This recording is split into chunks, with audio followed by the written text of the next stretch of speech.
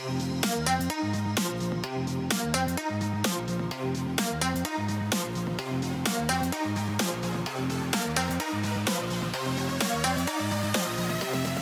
to Apple a Day. Today I've got a quick tutorial on working with tables in Apple Pages. This is useful if you wanted to create an invoice in Pages, but still use the power of a table to sum up all of your line items, add the tax, and show the total due. Now we're going to do this with two different tables, one to show all the line items, and then another table to show the summary, the tax, and the total due. So I'm going to make my first table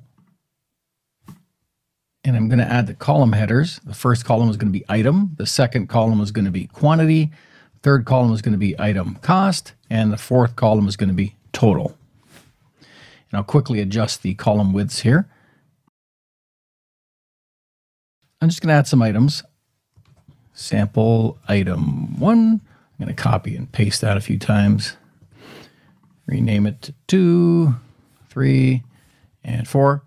I'm going to put in some random quantities, three, two, four, one.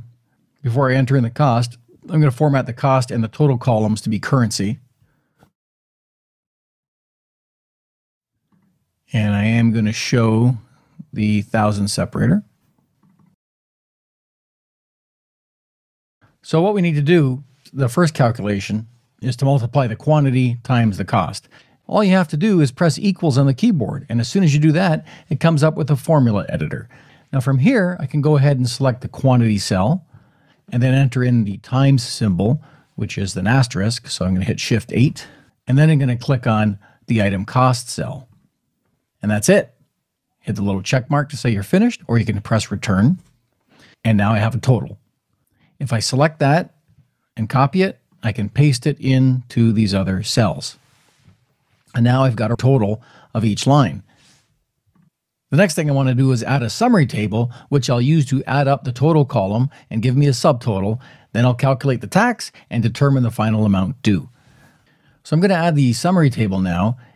And I'm going to click on Table on the top of the toolbar, select the basic style with no headers. Before I can move this into position, I need to go to the Arrange tab on the top right and where it says object placement, I need to change it from move with text to stay on page. And that'll let me position it anywhere I want. Now I only need two columns in this summary table. So I'm going to highlight C and D. I'm going to click on the drop down menu and select delete selected columns. And I'm going to resize this table. It'll be much shorter. And I only need three rows. So I'm going to delete rows four and five. So next I'm going to put in the summary headings. We have subtotal, tax, and amount due. And in this column, I want all of the text to be right aligned. And I'm going to change the font to bold. And then I'm going to finish up the cosmetic appearance here. I'm actually going to turn off the alternating row color.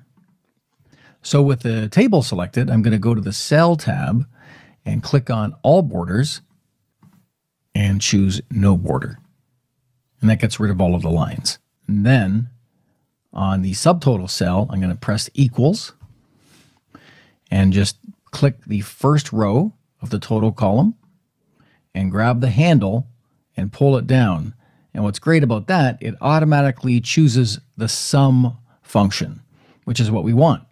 So I'm going to hit the check mark to save that. And there's our summary. So to calculate the tax, we select the tax cell, type in the equal sign to create a formula, choose the subtotal cell, then we want to multiply that by whatever the tax rate is in your area. And again, you do shift 8 to get the asterisk for multiplication. So wherever you're at, you would enter in the local tax rate. I'm in Ontario, Canada, so I'm going to put in 0.13 for 13%. Then I hit the check mark and there's my tax. Finally, to calculate the amount due, we'll just select the amount due cell, press equals again, select the subtotal, and then grab the handle and drag it down to include the tax cell. Press the check mark, and there you go. We're all done.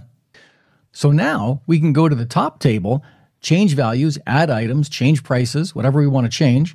In fact, I'm going to change that to 15 and we'll see the calculation take place and it'll update the subtotal, the tax, and the amount due, as well as the total for that particular line item.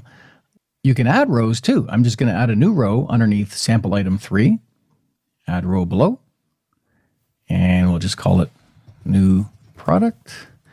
And we're going to have four of these at 19.99.